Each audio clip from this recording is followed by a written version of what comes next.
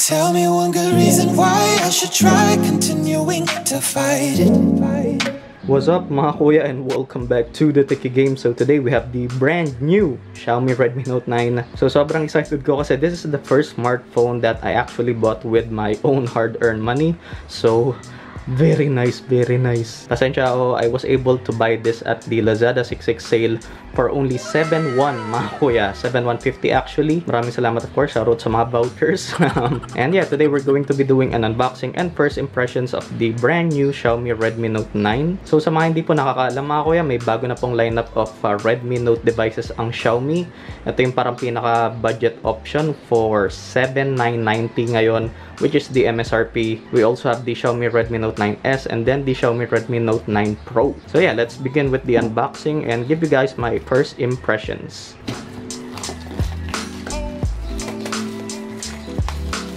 And what I bought nga pala mga kuya is the forest green option with the 3 gigs of memory and 64 gigs of storage. Of course, this also has a 4 gig 128 gig variant but of course, um, that costs 10,000 pesos and this is what most people will probably buy. But I wish Xiaomi could have gone for uh, 4 gig and 64 gigs on the base variant and then 6 gigs and 128 gigs for the higher end variant. So the package includes the phone itself, the charging adapter, charging cable, USB Type-C, SIM ejector tool, a soft case, and then yeah, that's pretty much it. So we have Redmi Note 9 with easy access to the Google apps you use most, written here on the right side, same on the left side, and then nothing on the top side. Okay, so this most likely contains the um, soft case, and we have the SIM ejector tool.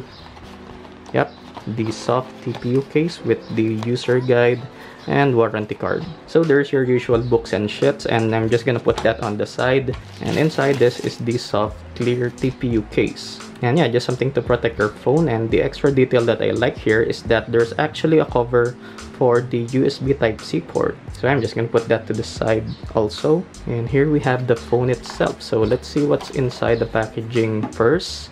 So I'm just gonna put the phone to the side and then yeah there we have i'm not sure if this is a fast charging brick.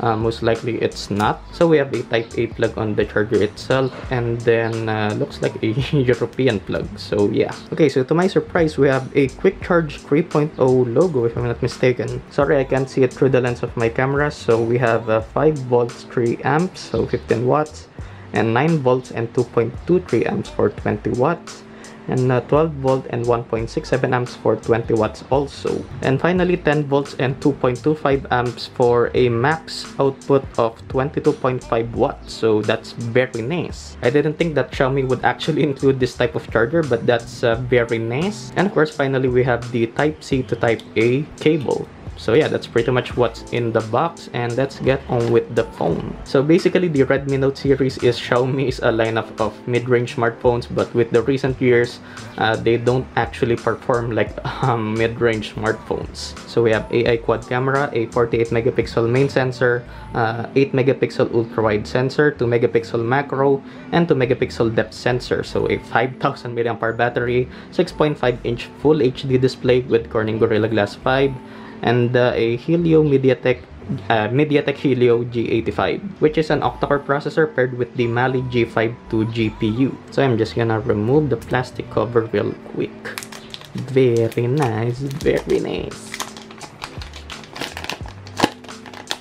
Ingat lang of course, yung may bagsak to. And something that's actually really unusual for a budget smartphone these days is a hole punch uh, for the front-facing camera. So that's very nice.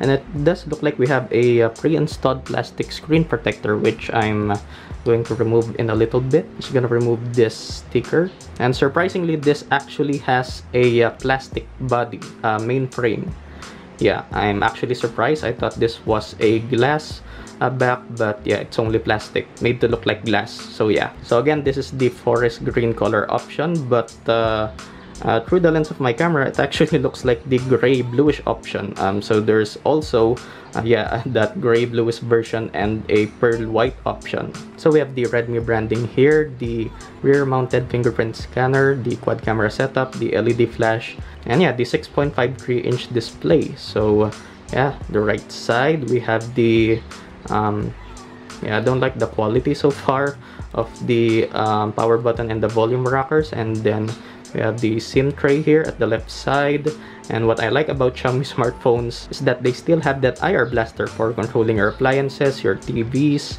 um, air conditioners, whatever. We have a single microphone at the top and then at the bottom we have the USB Type-C charging port. So um, this is actually the first smartphone, my first smartphone which has USB Type-C. So that's a very nice 3.5mm uh, headphone jack, the main microphone, and then a single bottom firing speaker. So yeah, that's pretty much it for the outside and of course being the Xiaomi fanboy that I am I actually like the design. But of course that's subjective as some people might not like it. But uh, yeah that's basically the Xiaomi Redmi Note 9 so we're just gonna see if there's actually power here. So I'm just gonna go ahead and remove the plastic screen protector don't like that shit. So we have MIUI 11 on top of Android 10 and here are the specs. Of course I don't want to uh, make this video too long so you guys can just pause the video.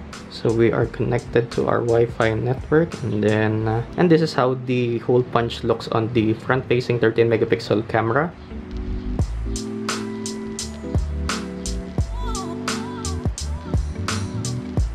So yeah, for now, I'm just gonna set up the phone, uh, take a quick pictures, and then uh, test out the performance and get back to you guys in a bit. One hour later. At nagbabalik na nga po tayo mga kuya. So yeah, um, here we are with the Xiaomi Redmi Note 9. Kitang-kita nyo naman, napaka-fingerprint magnet. Uh, take note that this is not a glass back. This is uh, plastic uh, for the main body of the phone. So the user experience and performance has been smooth so far. I haven't had any major hiccups or um, stutters here and there in the software um, as you would expect from something that I just unboxed. So I actually went ahead and installed um, PUBG Mobile and uh, since uh, a lot of you actually asked for this, um, Mobile Legends, um, to test out the gaming performance. But first, we'll get into the fingerprint scanner. So I have my uh, index finger registered to the rear-mounted fingerprint scanner and so of course it's not the fastest but it's uh, quick for the most part and it's uh, really accurate. So uh, this would unlock your phone 9 out of 10 times. So uh, yeah really happy with the fingerprint scanner for the price. And here's a quick speaker test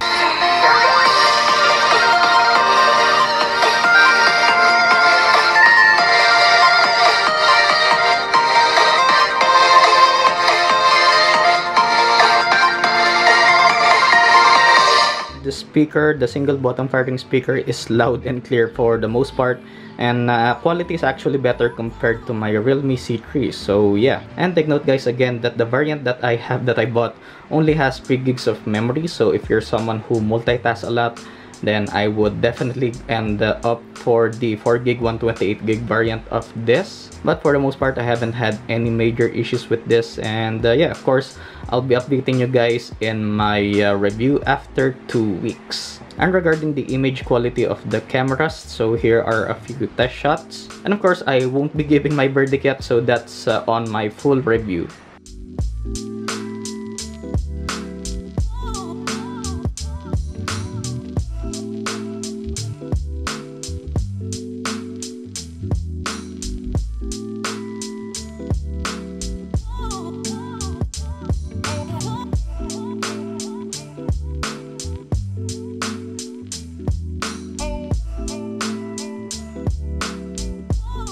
And for the gaming test, and another thing ha pala mga kuya, the wall charger that came with this actually does support uh, fast charging or quick charging.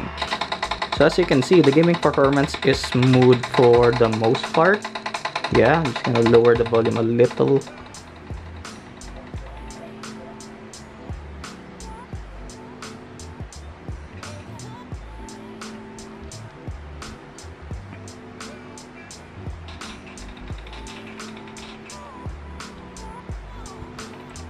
So as you would expect from a mid-range spec phone and uh, processor, uh, gaming performance is really good and here are the settings by the way mga kuya. So wait lang po, pakita ko nga lang po kung ganong ka-smooth. Very nice of course, very nice. So here in the graphic settings mga kuya, we have HD, uh, high, high frame rate enabled, uh, anti-aliasing enabled, and shadows enabled. And uh, yeah,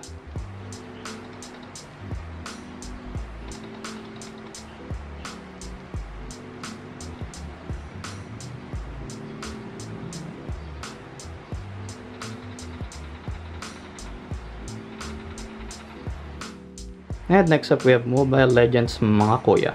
So here is the tutorial of Mobile Legends mga kuya. Um, di nga ulit ako naglalaro neto and uh, ayun, demo nga lang nung uh, gameplay performance sa Xiaomi Redmi Note 9 and uh, I can actually confidently say right now na you don't need uh, the Redmi Note 9S or the Redmi Note 9 Pro. Um, of course, uh, I've been using it for uh, a short while and uh, but yeah for the most part i can easily recommend this right now even though i've just unboxed it. And uh, yeah it's really impressive really good stuff from xiaomi again. And uh, yeah of course again i'm a xiaomi fanboy so take what i say with a grain of salt mga but di mo inatake so ayan nga um, here is the gaming performance of uh, mobile legends on the xiaomi redmi note 9 so one small detail that I really like with the Xiaomi Redmi Note 9 uh, regarding the SIM card tray so the outer part of the SIM card tray actually has a rubber seal around it, so that's uh, very nice of course. Uh, again, the Xiaomi Redmi Note 9 is uh, splash resistant. Even though this has no IP certification, it's still nice to see this uh, touch on the uh, SIM card tray. So uh, yeah, for a peace of mind that you can actually use this uh, in the rain or in the shower, but of course not use it underwater. And some of you mga may actually be concerned of the notch, the notch on the left side of the Xiaomi Redmi Note 9, but actually in the display settings, you can actually hide it if you want, of course. So we have uh, course uh, you can see the notch right now with the notifications. Uh, if you want you can black out the notifications area. And uh, for the most part if you're using it then you won't be able to see the notch as you can see. So when you're using an app or watching videos then you won't be able to see that uh, the notch and you actually have another option to black out the entire upper part of the screen where the notch is so your notifications area will be lowered to here so yeah, a bunch of good options uh, to hide the notch if you're not a fan of that. But for the most part, you don't really need to do that mga kuya kasi uh, when you're playing games or watching videos, then you'll most likely be in the um, landscape orientation where your uh, left hand will uh, most probably um, block that part. So uh, yeah, but since I'm new to this, to the notch, I actually found it disturbing um, as long as I'm in portrait orientation. But of course, when I'm playing games or uh, watching videos again in landscape orientation, then uh, my uh, left hand is, uh, parts of my left hand is blocking it for the most part.